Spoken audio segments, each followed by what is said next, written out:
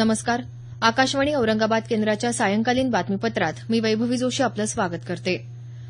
नक्षलवादी चळवळींना पाठिंबा दिल्याप्रकरणी दिल्ली विद्यापीठाचे प्राध्यापक जी एन साईबाबा आणि इतर चार जणांना गडचिरोली जिल्हा सत्र न्यायालयानं दोषी ठरवत जन्मठेपेची शिक्षा सुनावली आहे.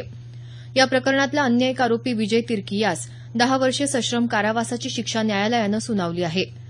नक्षलवादी हिंसक कारवायांसाठी दिल्ली विद्यापीठातल्या युवा कार्यकर्त्यांना तयार करणं त्यांना गडचिरोलीतल्या जंगलांमध्ये कारवायांसाठी पाठवणं माओवादी कट्टर विचारांचा प्रसार करणं या आरोपाखाली त्याला दोन हजार चौदामध्ये अटक करण्यात आली होती.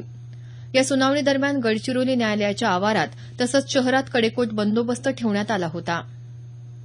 वाशिम जिल्ह्यात रिसोड इथं एका दलित महिलेवर सात जणांनी बलात्कार करून तिला जाळून मारल्याप्रकरणी निवेदन करण्याचे निर्देश विधानसभा अध्यक्ष हरिभाऊ बागडे यांनी दिले आहेत.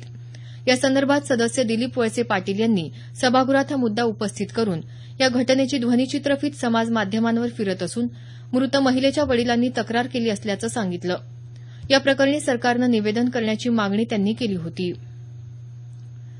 विधान परिषदेत आमदार प्रशांत परिचारक यांनी सैनिकांच्या पत्नीविषयी केलेल्या वक्तव्यावरून विरोधी पक्ष सदस्यांनी गदारोळ केला.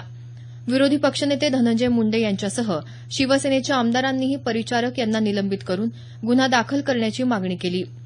परिचारक यांचं वक्तव्य निंदनीय असून याचं समर्थन कोणीच करू शकत नाही असं महसूल मंत्री चंद्रकांत पाटील यांनी सांगितलं. यासंदर्भात सभापती आणि मुख्यमंत्र्यांनी सर्व पक्षांच्या गटनेत्यांची बैठक घेऊन निर्णय घ्यावा असं आवाहन पाटील यांनी केलं. सभापती रामराजे नाईक निंबाळकर यांनी याबाबत चिंता व्यक्त करत कामकाज दिवसभरासाठी तहकूब केलं. सांगली जिल्ह्यातल्या म्हैसाळ इथं झालेल्या गर्भपात प्रकरणातला मुख्य आरोपी डॉ. बाबासाहेब खिद्रापुरे याला सांगली पोलिसांनी आज बेळगाव इथं अटक केली. म्हैसाळ इथल्या गर्भपात केंद्रावर छापा टाकल्यानंतर तिथे एकोणीस भ्रूण पुरलेले आढळल्याप्रकरणी चौकशी सुरू झाल्यानंतर खिद्रापुरे तीन दिवसांपूर्वी फरार झाला होता. या रॅकेटमध्ये खिद्रापुरे याच्यासोबत आणखी पाच डॉक्टर आणि तीन दलाल कार्यरत असल्याचं तपासात निष्पन्न झालं आहे. खिद्रापुरे याला मिरजच्या न्यायालयात हजर करण्यात आलं असून त्याला सतरा मार्चपर्यंत पोलीस कोठडी सुनावण्यात आली आहे. दरम्यान राज्य महिला आयोगाच्या अध्यक्षा विजया रहाटकर यांनी घटनास्थळी भेट देऊन पाहणी केली. या प्रकरणाचे पडसाद आज विधानसभेतही उमटले. संबंधित भागाचा दौरा करून गुरुवारी सकाळी सरकारतर्फे निवेदन सादर करण्यात येईल असं आरोग्यमंत्री दीपक सावंत यांनी सांगितलं.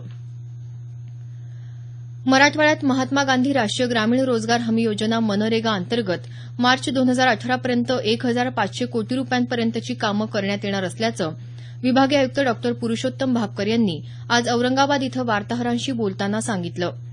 औरंगाबाद विभागात सहा मार्च ते बारा मार्च या कालावधीत मनरेगा सप्ताह साजरा केला जात असून उद्या या सप्ताहांतर्गत महिला दिनानिमित्त मराठवाड्यातल्या सर्व गावांमध्ये विशेष ग्रामसभेचं आयोजन करण्यात आलं असल्याचं ते म्हणाले. गुरुवारी सर्वसाधारण सभाही घेण्याच्या सूचना देण्यात आल्याचं त्यांनी सांगितलं. मराठवाड्यात पायाभूत सुविधांबरोबरच जलसाठवणुकीच्या सुविधा निर्माण करणारी कामं मनरेगाच्या माध्यमातून करण्यात येणार असल्याचं ते म्हणाले.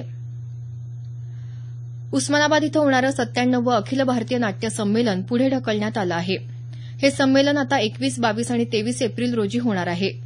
यापूर्वी ते सात ते नऊ एप्रिल दरम्यान होणार होतं. नाट्य परिषदेच्या उस्मानाबाद शाखेचे अध्यक्ष विशाल शिंगाडे यांनी आज उस्मानाबाद इथं ही माहिती दिली.